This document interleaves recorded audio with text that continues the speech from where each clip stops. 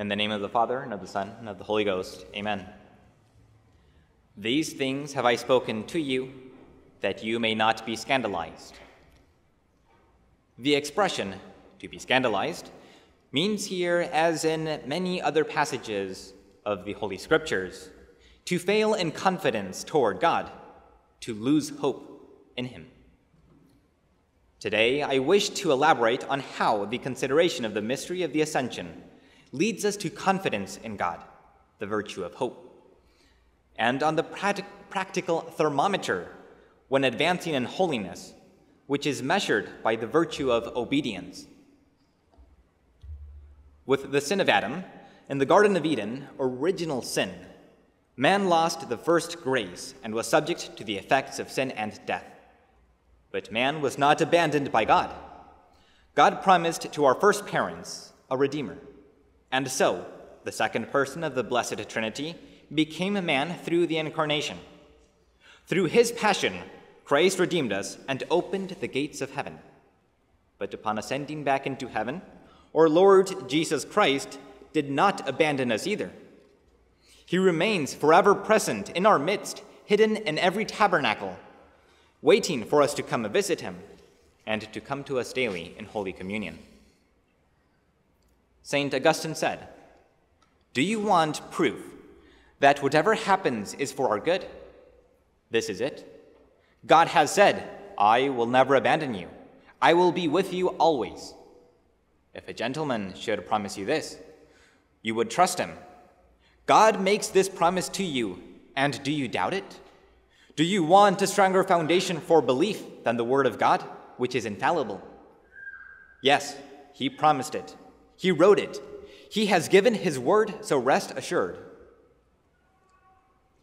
After his ascension, Christ sent us the Holy Ghost, the Paraclete, as mentioned at the beginning of today's Gospel.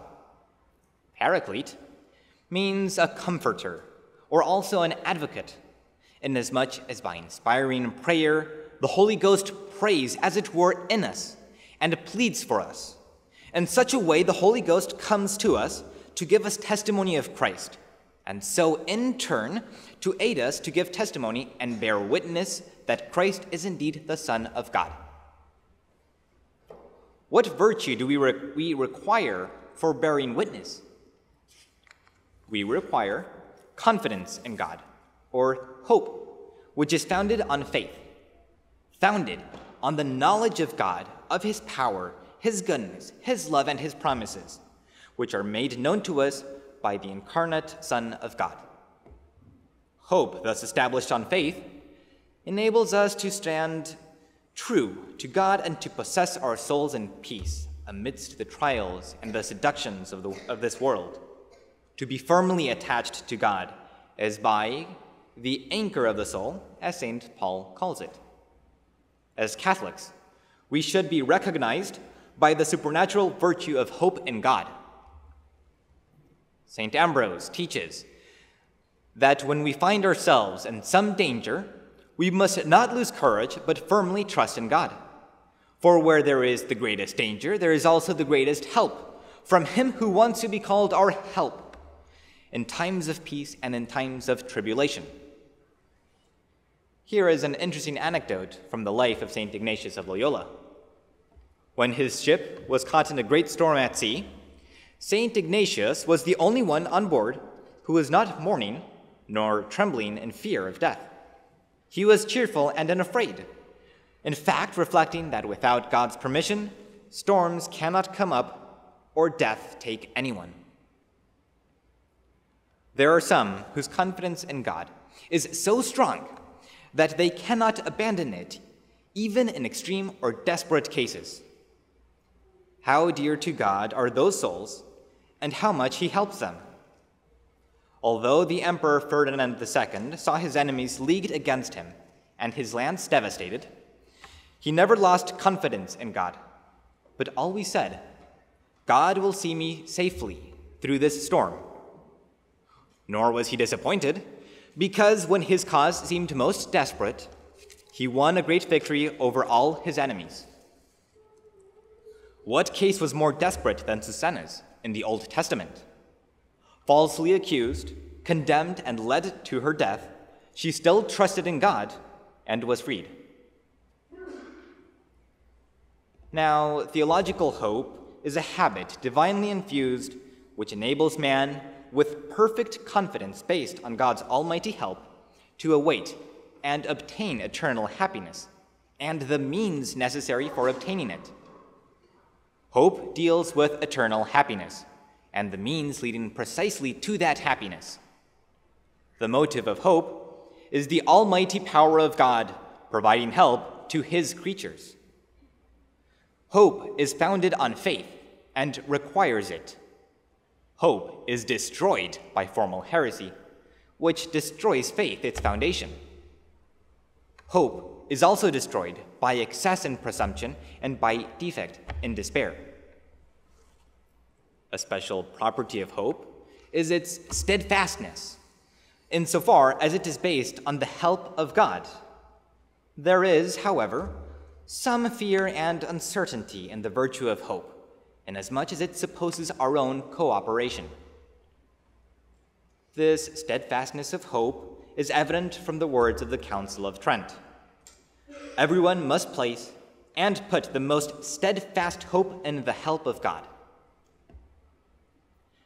The mere facts of Christ's ascension and of this special gift he has made to us of sending us the Holy Ghost ought to be ample motives inspiring and inflaming within us the supernatural virtues of hope and confidence in God.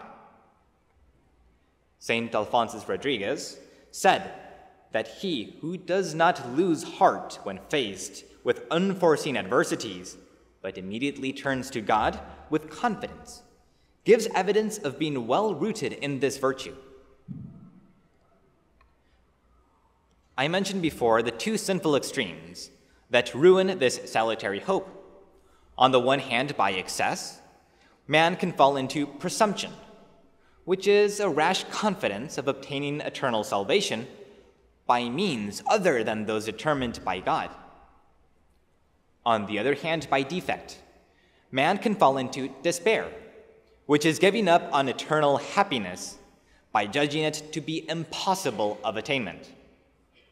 By presumption, the sinner thinks he does not need God to be happy. By despair, the sinner distrusts even God, thus denying God's infinite power and goodness by throwing himself into seeking consolation in the mire of sin. How hideous. Now, what are the remedies? To begin, prayer. And with God's grace, paired to a sincere effort on our part to abandon our sin, we must seek then the reward of our eternal happiness to be found in that perfect union with God in heaven and perform meritorious good works here in this life. Our Lord said, Without me, you can do nothing. This thesis is de fide. We are incapable of performing any good works meritorious of an eternal reward without the very aid and assistance of God's grace. And so God demands our confidence, faith, and hope in Him. Wait a moment. Christ also said, If you love me, keep my commandments. So, translated into the practical order, we ought to put this hope into action. We ought to demonstrate our hope in God by observing the commandments the precepts of the church, and the instructions of our superiors, our parents, and our teachers.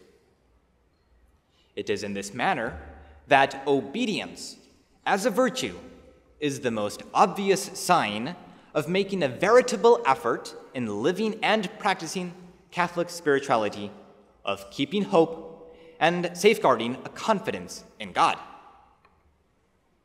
It acts as a practical thermometer to measure our application to virtue and the love of God. Let us analyze for a quick moment this virtue of obedience.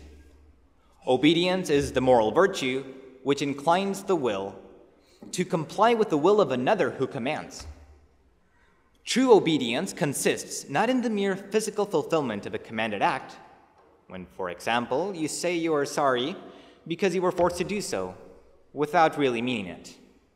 But obedience consists in doing some act precisely because it is commanded by a superior. In the rule of Saint Benedict, the holy abbot stresses that the several steps and degrees of humility are characterized by obedience. An obedience without delay, a perfect obedience. For we have the maxim of our Lord, wherein he says, I came not to do my will, but his who sent me. See also how a more perfect humility is that by which one, for the love of God, subjects himself in all obedience to his superiors, imitating Christ, of whom the apostle says, made obedient even unto death. Another step in humility, as found in the Benedictine rule, is that a monk do nothing but what the common rule of the monastery and the example of his seniors suggest. In fact, religious hold that the virtue of obedience is so important that it is one of the three vows of professed religious. Just as in today's epistle we read, But before all things have a constant mutual charity among yourselves, for charity covereth a multitude of sins, using hospitality one towards another without murmuring. So, Saint Benedict prescribes in his rule that the excellence of obedience is not only to be shown by all towards the abbot, but likewise let the brethren also be obedient among themselves, bearing in mind that by this way of obedience they will be journeying Godwards. Thus, obedience is also the sign of charity, being also a sign of true humility. St. John of the Cross said that obedience is a penance of the intellect, and therefore a more acceptable sacrifice than all corporal penances. Hence, God loves our tiniest act of obedience more than all other homages you might think of offering Him. It is related in the lives of the fathers of the desert that one day four monks went to the abbot Pambo and, separately, told him of the virtues they were practicing. One fasted a great deal. The second had given up all earthly possessions. The third had a great fervor, and the fourth had been under obedience for 22 years. After having heard each one separately, the abbot said, The virtue of the fourth is greater than yours, because each of you follow your own will, while he has made himself a servant to the will of others. Therefore, obedience, as exemplified by Christ, by the saints, and by the Blessed Virgin Mary, is a sure sign and thermometer, so to speak, to prove and pinpoint our advance in virtue and spiritual progress. The great Saint Teresa of Avila summed this up with these words The more clearly it is seen that one is unwilling to obedience in some matter, the more evident it is that the point in question is a temptation. When God sends some inspiration, the first one he sends is to obey. As we are completing this month of May, which is especially dedicated to Our Lady, remember to earn extra graces and favors by petitioning in your daily rosary for this virtue of obedience and for a sincere confidence in God. Seek to imitate her most perfect obedience to God and her most steadfast confidence and hope. May the virtue of obedience motivate and prompt you to be a more perfect and more holy obedience. And may further meditation into this special mystery of Christ's ascension into heaven be a further motive of increasing your confidence in God and steadfastness in prayer. Pray that our Lord grant us that by meditating on his ascension, we may increase daily in acts of hope and perfect and perfect our obedience to him, to the church, and to our superiors. In the name of the Father, and of the Son, and of the Holy Ghost, amen.